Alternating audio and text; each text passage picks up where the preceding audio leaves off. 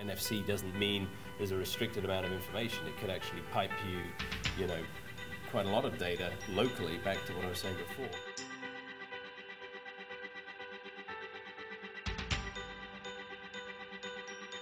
I came all the way from Toronto and I can absolutely say hands down it was worth the trip. It's going to affect the industry in a big way.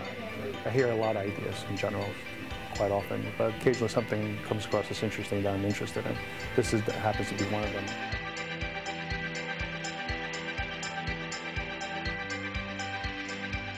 The next big thing that's emerged right now is NFC. So the biggest trend that's evolving around the mobile device marketscape that's out there. You know, anyone who's not on it right now is missing a, a big train that's not only leaving, has already left the station.